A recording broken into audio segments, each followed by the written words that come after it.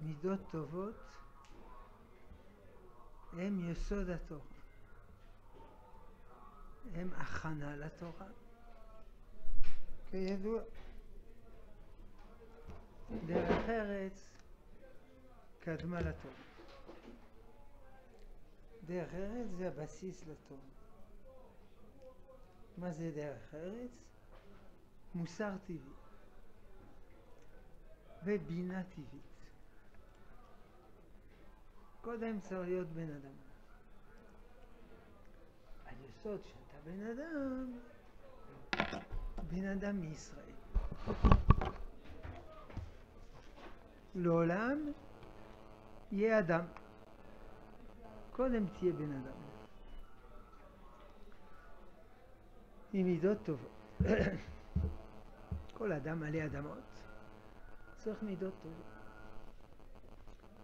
ספר בראשית, לפני עם ישראל, אברהם, ישראל ויעקב, שרה, רבקה, חטא ולאה,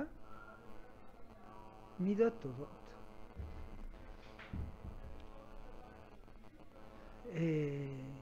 היסוד מידות טובות, תורה. היסוד תורה, מידות טובות, עוד יותר עליונות.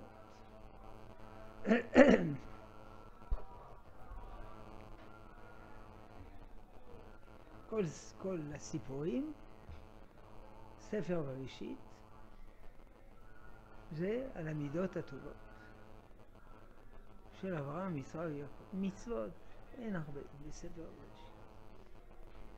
ברית תפילה, גיד הנשה, נדיר. כמעט הכל מידות טובות. קודם צריך להיות בן אדם.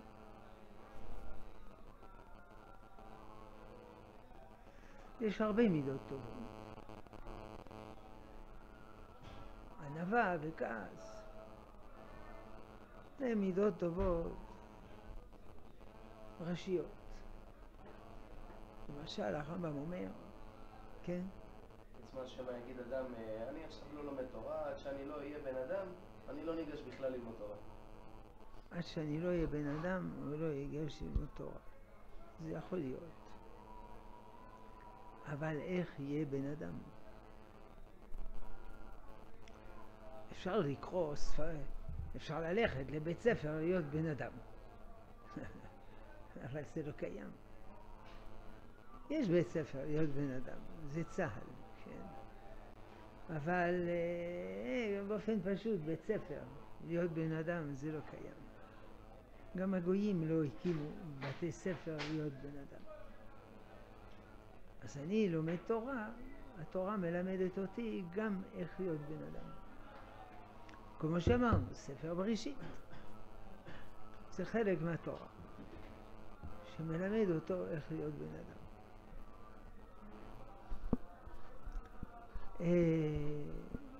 הרמב"ם אומר, צריך ללכת בדרך האמצע, במידות. אל תהיה יותר מדי תאוותן, תאוותן, אל תהיה סגפן, באמצע. תאכל, תשתה, תהנה, אבל אל תגזים. אל תגזים לאכול, לאכול, לאכול. וגם בכיוון השני, לא באמצע. מביא הרבה דוגמאות בהלכות דעות בהתחלה, ידוע. ללכת בדרך האמצע. אבל לגבי כעס, הוא אומר להיות קיצוני. וגם לגבי ענווה, גאווה, להיות קיצוני. אבל זה הולכת בדרך האמצע. כן, זה מסוכן. זה צריך, צריך מקדם זהירות. אומרים לך לבוא אל המלך בחמש, תבוא בשר. בסדר. אתה לא יכול לאחר. צריך מקדם זהירות.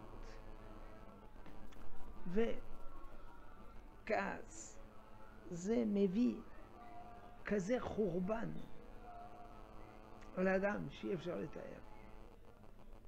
כשהוא כועס, הוא כבר השכל שלו נעלם.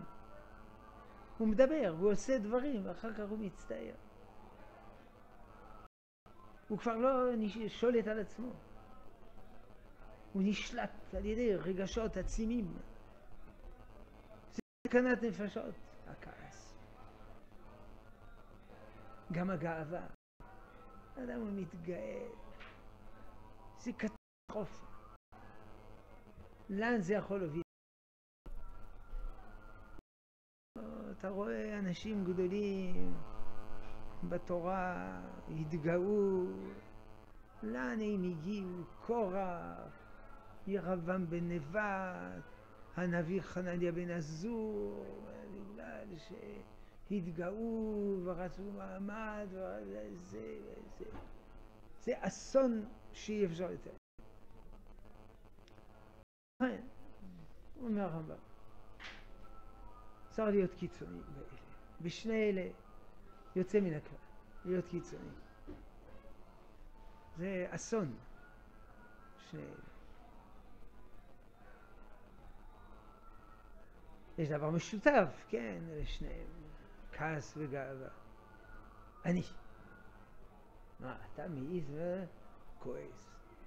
זה יירגע, אתה לא מלך העולם, אל תנפח את עצמך. גם גאווה, אני, אני, אתה לא מי יודע מה. לכן,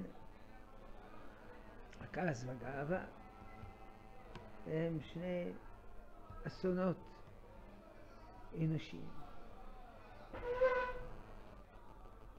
אבל ככה השם ברא את האדם, שיש לו יצר הכעס, יש לו יצר הגאווה, יש לו גם יצרים טובים, יש לו נשמה אלוקית, טהורה, ויש לו גם יצרים כאלה. הכעס, אה, מי, מי שמתנהג, מתנגד לו, הוא, הוא מוכן לטרוף אותו. זה, אנחנו מבינים למה. כי זה הצד הבהמי שבאדם. באדם יש צד אלוקי, נשמה, ויש צד בהמי. הנפש האלוקית, הנפש הבהמית. וככה מתנהגות בהמות. מי שבא, מי שמפריע לבהמה, א', היא טורפת אותה. לא עושה חשבונות. מה אתה תגיד לבהמה, תשמע בהמה, תוותר לו, וזה, לא נורא, אל תכעס. זה בסיפורי אגדות לילדים. שבהמות ובעלי חיים לא כועסים. טוב מאוד הסיפורים האלה. יפה מאוד. מחנך את הילדים. סיפורי בהמות, מותר סיפורי, כן. אמר העורב לשועל, מה שלומך? מבינים שזה סיפור. אז, אז יש באדם צד חייתי, החיה שבאדם. אז מי ש... מה ש... מי שמפריע לו, מה שמתנגד לו, הוא מוכן לדחוף אותו.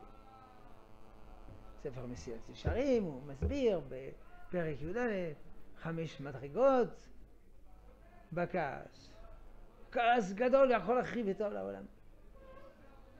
כעס הוא לא גדול, אבל בכל זאת מזיק. כי הוא כל הזמן, כל הזמן. אתה עם הבן אדם הזה, אתה לא יודע מתי הוא, הוא עלול להתפרץ. יש כעס שהוא לא, הוא לא גדול והוא נדיר. אה, ברוך השם. יש אחד, הוא לא כועס בכלל, בכלל, בכלל, בכלל.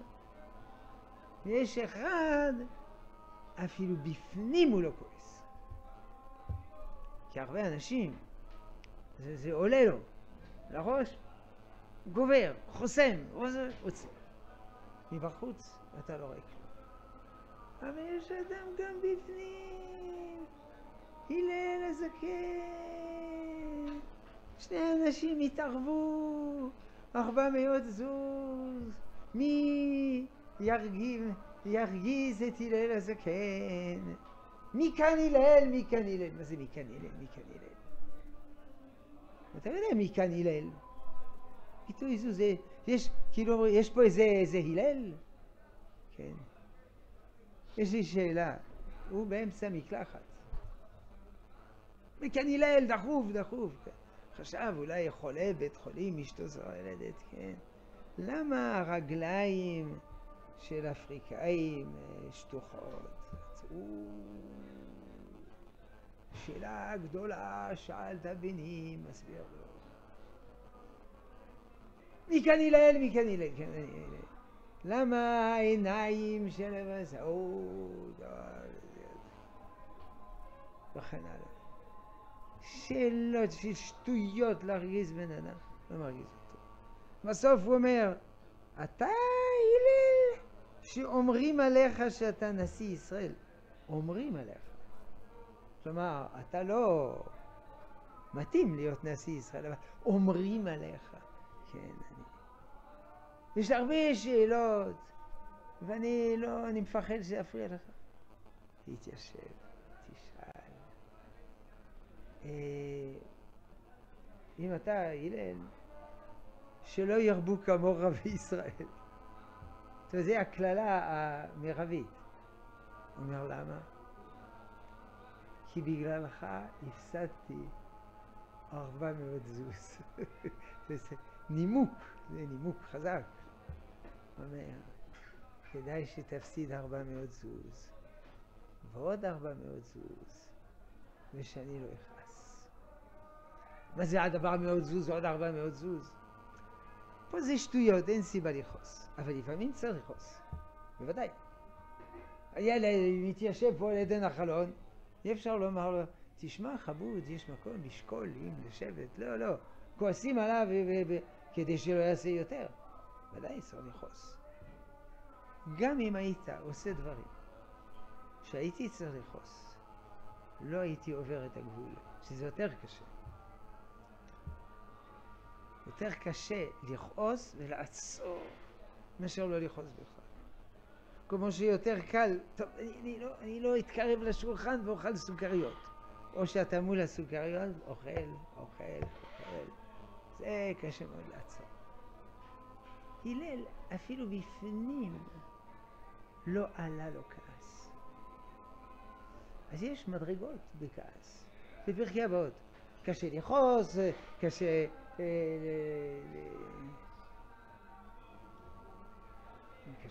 קל להירגע, לא קל להירגע, וכן הלאה.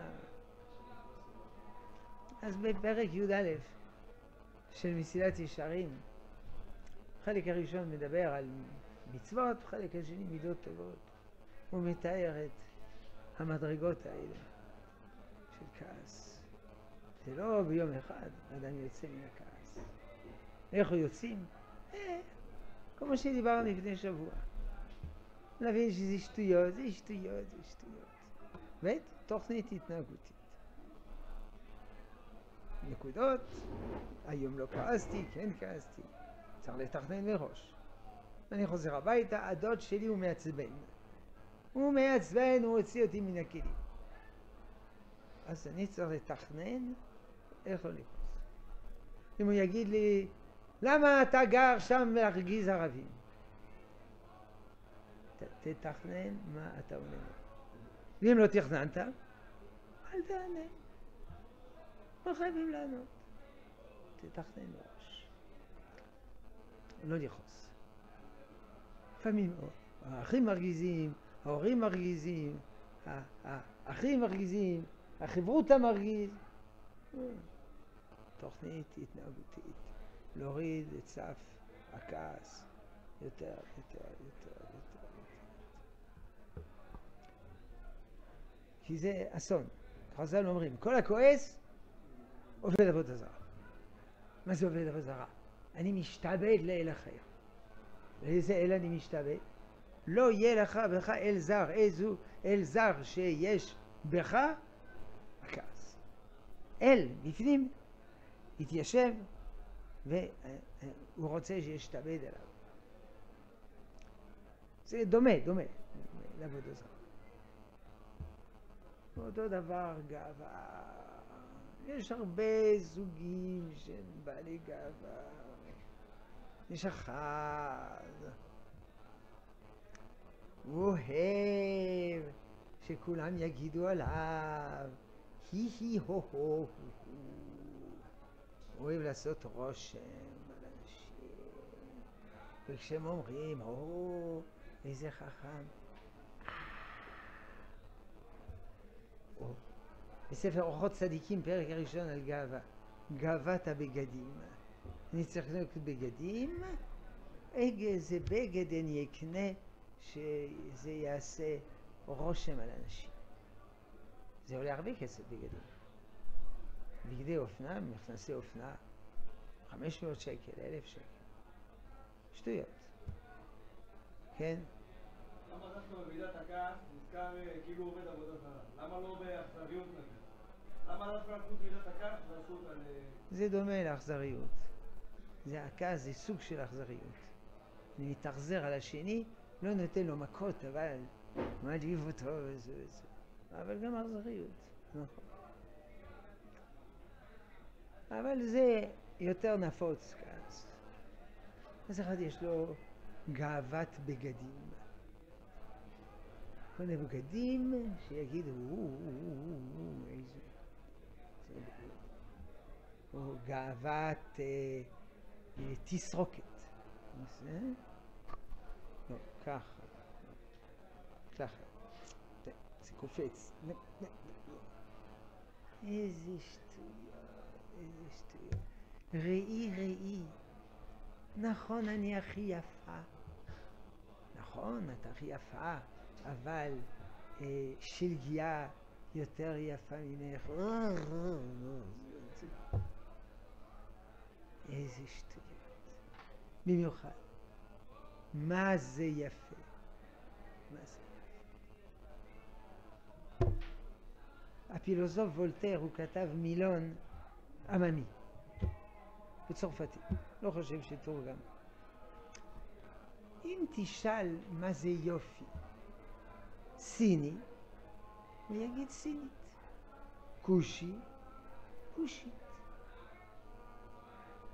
אם תשאל פר, פרה. קרפד, קרפדה.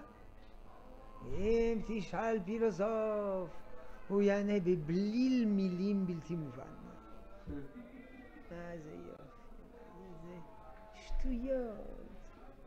אז הוא, יש לו בגדים יפים, זקן יפה, שערות יפות, וגם אפשר להוסיף הגיל פה, הגיל פה, הגיל פה, הגיל פה, היפה, היפה, הגושה, העשה, יעל. איזה, איזה שטויות, שטויות. כל זה כדי שיגידו, איך הוא יפה, איך הוא יפה. זהו. וכשהוא רואה, הוא מדמיין, מדמיין שלא חושבים שהוא יפה. אז יש כל מיני גאווה. יש אחד בעל גאווה שהוא... שאף אחד לא יעז להפריע לו. אף אחד לא יעז באמצע המשפט, איך אתה מעז באמצע המשפט? וכן הלאה. כי כולם חייבים לרעוד מפניו. יש בעל גאווה שהוא ענב מדומה. הולך ככה, מסתכל, אם רואים ענב. כל הבורח מן הכבוד, הכבוד רודף אחריו. וכל הרודף אחרי הכבוד, הכבוד בורח ממנו. למה? כי אדם שרודף אחרי הכבוד, הוא לא מכובד. בזה עצמו שהוא רודף אחר כבוד. הכבוד בורח ממנו, הוא לא שווה כלום. וכל הבורח מן הכבוד, אה, בזה הוא שווה. יש אפילו בדיחה. אני לא יודע, כל הבורח מן הכבוד, הכבוד רודף אחריו. אני כל הזמן בורח מן הכבוד, הכבוד לא בא, לא בא, לא בא. נו בוודאי, אתה מסתכל אחורה כל שנייה לראות שהוא יבוא. עושה הצגות. אז גם במסילת ישרים הוא מונה כל מיני סוגי גאווה. ברוך השם, עם ישראל ענבים. אדם, אברהם אבינו, איזה ענב, אנוכי, עפר ואפר. משה רבינו, איזה ענב, ונחנו מה? דוד המלך, שהקים מלכות ישראל, איזה ענב. אנוכי תולעת ולא איש. אני בכלל לא בן אדם, אני תולעת. חרפת אדם, אני חרפת המין האנושי. הוא בזוי עם ואני הביזיון של עם ישראל. ככה הוא הרגיש. איך זה יכול להיות?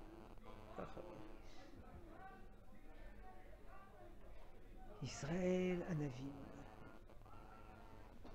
לא כולם, אבל אה, באופן כללי.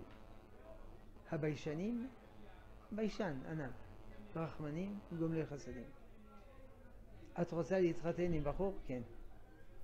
תבדקי אם הוא שייך לביישנים, רחמנים, גומלי חסדים. למה? אחרת יהיו לי בעיות בנישואים? לא. אולי הוא לא יהודי בכלל. הגבעונים, לא בני ישראל המה. הם לא ביישנים, רחמנים, גומלי חסדים. אז איך הוא יהודי? לא יודע, זה משתחרר. אל תתחתן. ביישנים, ענבים, רחמנים, גומלי חסדים, וכו'. חושבים שאדם שהוא ענב, אה, חנון אחד, הוא חנון. הוא לא חנון. זה לא כיף. דוד היה חנון, כן. אברהם אבינו היה חנון. משה רבינו היה חנון. איזה שטויות.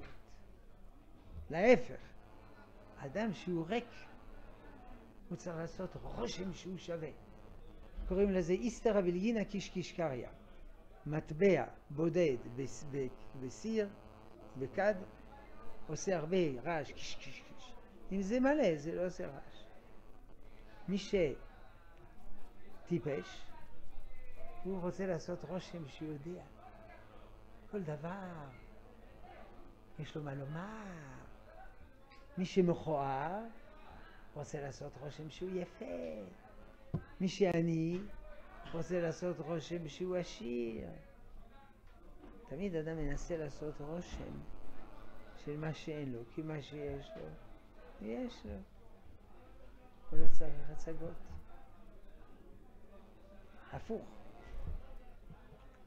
אז מי שלא שווה, אז הוא עושה רושם, אה, אני פה, מי ששווה, הוא לא צריך. שאול המלך נחבא אל הכלים. מה זה הכלים? הביאו ציוד. באו להמליך מלך. ושמו ערימות של ציוד, איך אומרים לזה, שקי שינה ותרמילים וזה. התחבא מאחורי הציוד. לא מצאו אותו. לא מצאו אותו. התבייש, מה אני מלך, לא ייאמן. בקיצור, כמו שהכעס זה דבר נורא, יכול להרוס את כל החיים. ההפך של הכעס, השקט הנפשי, העדינות, זה עושה חיים כל כך נעימים. האדם הזה הוא אהוב על כולם, כולם רוצים אותו. אפשר לעבוד איתו, אבל מי שכועס, לא, לא, לא יודעים מה לעשות איתו. אותו דבר מי שבעל גאווה, זה מעצבן את כולם. מי שענב, אה, איזה נעים להיות איתו. כולם רוצים להתחבר אליו, לחבר אותו, וכו' וכו' וכו'. איך אדם, אז מה, אם אני אהיה נענב, אני אחשוב שאני לא שווה כלום? כן.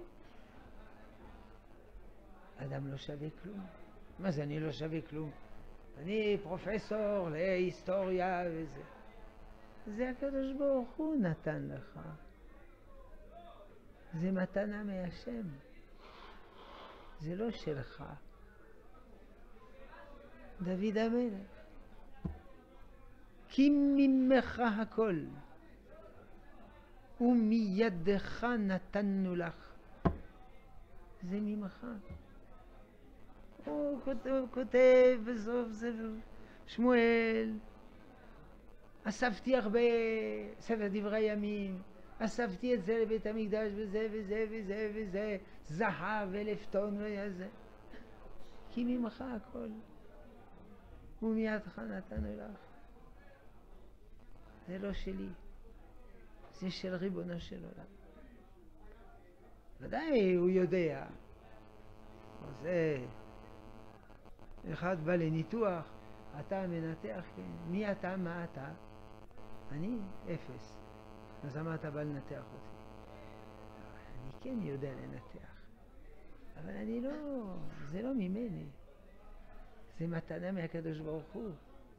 נתן לי כישרון לנתח. תודה רבה, ריבונו של עולם. כמובן, התאמצתי, אבל די, אם אדם לא מתאמץ, הוא מאבד את המתנות של הקדוש ברוך הוא. אבל זה בא מריבונו של עולם. אז זה לא אומר שהוא חושב שהוא לא שווה. הקצין אומר, קדימה אחריי. מי אתה, מה אתה? מה זה קשור? הקדוש ברוך הוא עזר לי, הייתי קצין, עכשיו אני יכול להועיל, קדימה אחריי. זה לא שהוא חושב שהוא לא שווה. ו... כן. מה? שהוא יתאמץ, שהוא יתאמץ לא לאבד את המתנה של הקדוש ברוך הוא. זה מתנה, אבל המתנה הזאת צריך להתאמץ כדי לקבל אותה ולא לאבד אותה. אחרת אפשר לאבד את הכל. אז זה הוא מקבל שכר. אמרנו, בהתחלה צריך להיות בן אדם. אבל הקדוש ברוך הוא ברא אותי בן אדם. אני יודע, אבל יש הרבה בני אדם, הם לא בני אדם. הוא לא בן אדם. יש שיר באנגלית, נכון? כמה דרכים אדם צריך ללכת עד שאתה קורא לו בן אדם. How many roads must a man walk down before you call him a man? מכירים את השיר הזה? איך קוראים למחבר? איך? בוב דילן, בוב דילן. יהודי. זה שם אה, ספרותי שלו, בוב דילן. מה? הוא שב? שבתא? שבתאי, שבתאי. כן, באמת? לא, לא זוכר את השם היהודי. שם כזה אשכנזי וזה. The answer is blowing in the wind. זה לגבי שירי המחאה על המלחמות האכזריות שהאמריקאים עשו בווייטנאם. אז אדם, השם ברא אותו אדם, אבל הוא לא יכול לאבד את זה ולהתנהג כמו חיית פרא בווייטנאם. לא שהווייטנאמים לא היו חיות פרא, פי עשר חיות פרא, אבל ציפו שאמריקאים לא יהיו חיות פרא. אז זה, הוא סרט גיטרה, הוא מני רוז, מסטרמן, חפשו באינטרנט. הוא, הוא שר פחות טוב ממני כמובן, אבל אני ענב, אז אני עושה את עצמי שאני לא יודע לשיר. טוב, בקיצור,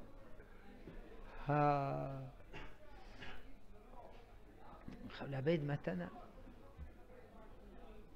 כל אחד לפי כוחו. כל אחד עושה מה שהוא יכול. אחד יש יותר כישרונות, פחות כישרונות, יותר כסף, פחות כסף, יותר הזדמנויות, פחות הזדמנויות. הוא עושה מה שהוא יכול. ואז הוא שמח. זה לא גאווה, זה שמחה של מצווה. זה סיפוק עצמי. עשיתי מה שאני יכול. כל הכבוד. זה לא גאווה. גאווה זה אם אני רוצה לעשות רושם על אנשים, או אני. מרמה את עצמי שאני יותר ממה שאני. זה גאווה. אבל אם אני שמח ממה שיש לי, זה לא גאווה, זה תודה לשם, תודה לעצמי, כן. איך ענווה מביאה לידי שמחה? איך? איך ענווה מביאה לידי שמחה? ענווה מביאה לידי שמחה בגלל שאני שמח במה שיש. אבל אם בגלל גאווה, לא, זה לא מספיק, אני רוצה להיות יותר, וכולו וכולו. תסביך הנחיתות. אני לא אסבול להיות פחות מאחרים, אני צריך להיות לפחות כמו אחרים, וכמה שאפשר להיות יותר מאחרים. תסביך הנחיתות. לא. אני שמח כמו שאני, ברוך השם, מתאמץ כמה שאני יכול, ואני שמח. ברוך השם. אז נכון, אז אדם ענב הוא אדם שמח. לא אמרתי להיות ענב כי הוא שמח, להיות ענב כי זה, זה בן אדם, בן אדם נורמלי, כן. אמרת מקודם שהגאווה זה מאוד מסוכן כמו הכעס, אז כמה שאפשר ממנו. אז אה, עדיף, כאילו לא עדיף להיות יותר מדי ענב כביכול? כן, כן, זה מה שאתה צודק. זה לא זה לא מתקרב לשפל רוח? לא, לא. שפלות רוח זה אדם חושב שהוא לא שווה כלום. לא, זה לא שווה כלום. הקדוש ברוך הוא ברא דבר שלא שווה כלום? אה, הוא לא יודע מה הוא עושה? הוא לא יודע שווה. כל אחד. יש, אה, איך קוראים לזה? האוטו שלי מקולקל. זה פה, זה, החוט הזה נקרא. תחליף לי חוט, כן. כמה זה עולה? אה, 30 אגורות. אבל בלי 30 האגורות האלה, האוטו לא נוסע.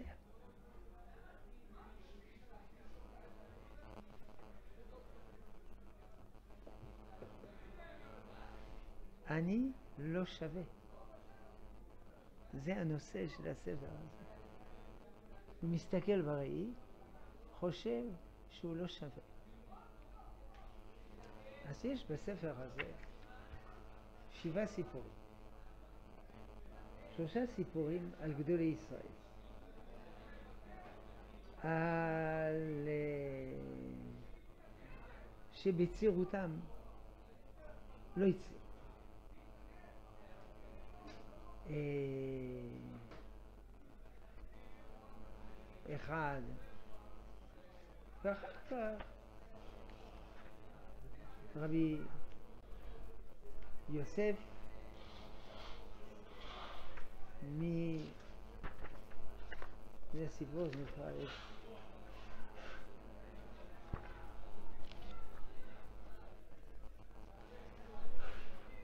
רבי יוסף מסלוצק, צבי, תלמיד בינוני. זה רבי צבי וכולו, ואחד זה משה. רבי משה בן מימון. ויש שלושה סיפורים על אה, ילד או ילדה. אני לא שווה, המורה ציפי, זה לא קל. ובסוף, סיפור שלא מצליחים. הכבש ניסה ולא הצליח. זה מדכא קצת, לכן סיפרתי על זה על כבש. שלא ייקחו יותר מדי ללב. אגב, כל הסיפורים האלה זה לא אני המצאתי. אני גונב, ו... אבל כתוב לא תגנוב. לא תגנוב. אבל זה לא המיקוד, אין שם מיקוד. יש, אבל יש מקורות בסוף. מאיפה לקחת? אז אמא, אני הולכת. לאן מירי? שאלה אמא בדאגה. אני נוסעת לירח. בסדר, מירי. אך חזרי לארוחת ערב. להתראות, אמא. יצאתי החוצה בריקוד. הירח אהוב עליי יותר מכל. אני נוסעת עצובה לירח וחוזרת שמחה. יוסי לוקח אותי בחללית שלו. יוסי הוא הארוס שלי, הוא בן עשר, שנה מבוגר ממני. יש לו שיער שחור ועיניים ירוקות, ובגדים יפים ונקיים. הוא נורא אוהב אותי, אף על פי שבגדיי קרועים. יוסי אינו קיים בשום מקום. הוא נמצא רק בחללית. החללית נמצאת מאחורי פח האשפה הגדול על גבעת הטרשים. החבאתי שם את הכרית הסגולה הישנה שאמא החליטה לזרוק. שלום יוסי. שלום מירי. כאשר יוסי מחייך אליי, זה כמו ציפור ירוקה. המראינו. אנו כבר במרחק עשרים אלף קילומטר. אני אוהבת את הירח. אין שם שוטרים. אני שונאת שוטרים. הם שמו אבא בבית הסוהר, מפני שהוא גנב. מאז התאונה הגדולה בבית החרושת, אין לו עבודה. אז הוא גנב. יום אחד באו שוטרים, שמו לו אזיקים, ולקחו אותו לבית הסוהר. בבית לא מדברים על זה. זה כאילו אבא נבלע באדמה. אני לא גנבת, אף פעם לא גנבתי. אמא אומרת שאסור לגנוב. גם אם אין מה לאכול. פעם אחי הגדול מוטי גנב משהו. שמעתי המולה ברחוב, הרבה אנשים עמדו מסביבו, נתנו לו המון מכות ותריסר בעיטות. אחת אפילו על הפה. הם צעקו, התבייש לך פושע, גנבת כיכר לחם מהחנות. אולי עם אותם האנשים אף פעם לא יהיו רעבים. על הירח אין שוטרים וגנבים. יש עצים עם פירות אדומים. חבל שאי אפשר להישאר שם. גם היום נסעתי לירח. תמיד כשאני עצובה אני מפליגה לירח, וכל יום אני עצובה. מהחללית טלפנתי לאבא. גם אם גנבת, אתה אבא שלי. בבקשה אבא, אל תגנוב יותר. אבא לשלי, אני אעבוד ויהיה לנו מה לאכול. אכתוב פרחים באחו ואמכור אותם מבית לבית. שנינו נמכור פרחים. שמעתי את קולו של יוסי דרך החלון של החללית. ראיתי פרחים. ביקשתי, יוסי, הבא לי. הוא התכופף כדי לקטוף אותם ונפל דרך החלון. אולי יכעס עליי. הנחתי את החללית ויוסי חיכה לי למעלה.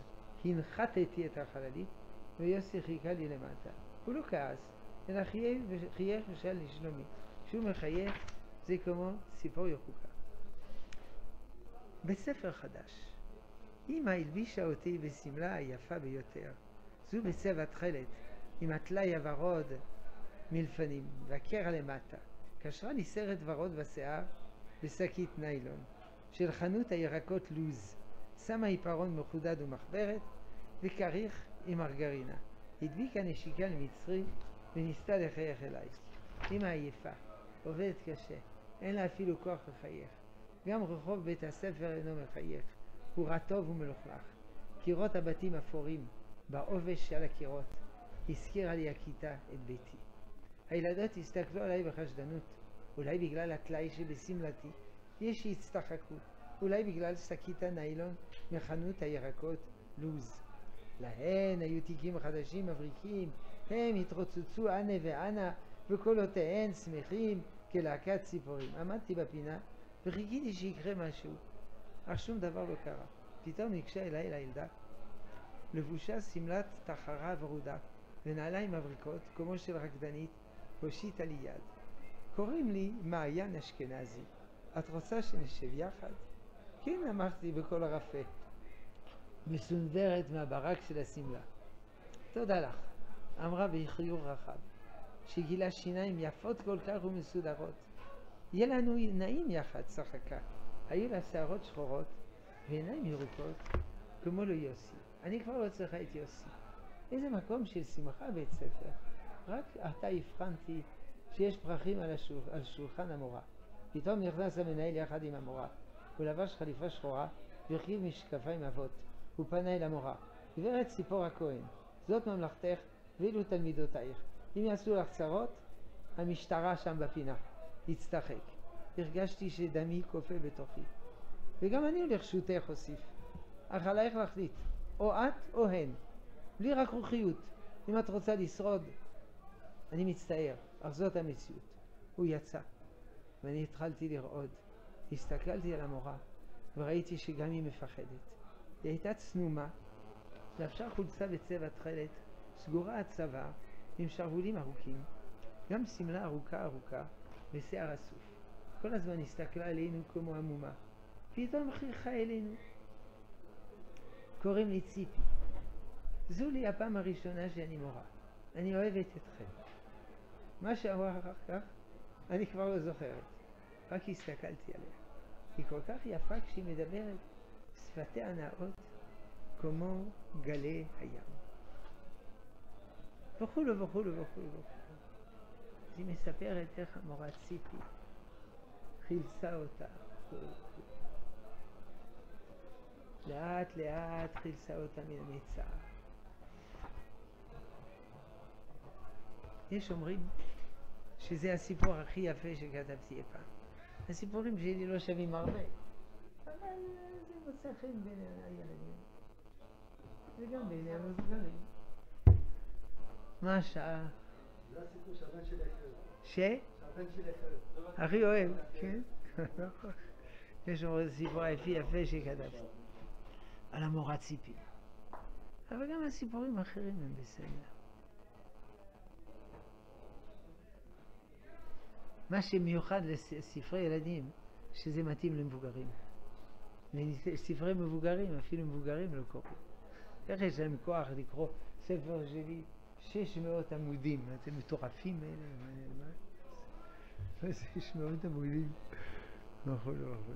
יש יותר מ-600 עמודים, כי יש אה, עשרה כרכים, אז זה, אני לא יודע כמה זה יוצא. זה, אלפי עמודים, זה פסקי שלמה, חלק ח', מלא, זה. טוב, ספרי ילדים. אז אני לא שווה. איך אדם שחושב שהוא לא שווה, אבל לאט לאט הוא נעשה שלום, מבין שהוא שווה. טוב, עד כאן היום.